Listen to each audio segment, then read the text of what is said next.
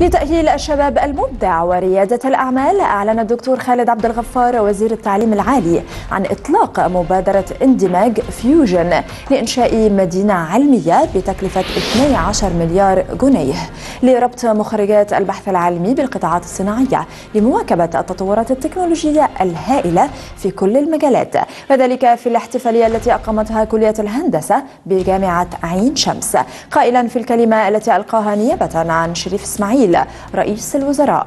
إنها خطوة مهمة للتحرك نحو الثورة الصناعية الرابعة فيما كشف الدكتور محمد أيمن عاشور عميد هندسة عين شمس عن عزم الكلية تأسيس أول شركة ناشئة مع جامعة حكومية لتفعيل القانون للتعامل بين البحث العلمي والصناعة تحت اسم فيوجن للتكنولوجيا والابتكار. إحنا النهارده عرضنا الحقيقة مشروعين كبار في- لتطوير التعليم الهندسي آه، في مصر وفي كلية الهندسة جامعة عين شمس.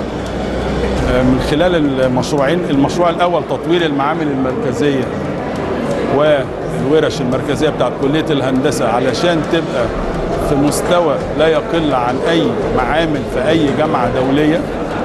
والمحور الثاني بعد التخرج تشجيع البحث العلمي من خلال مشروع كبير الحقيقة.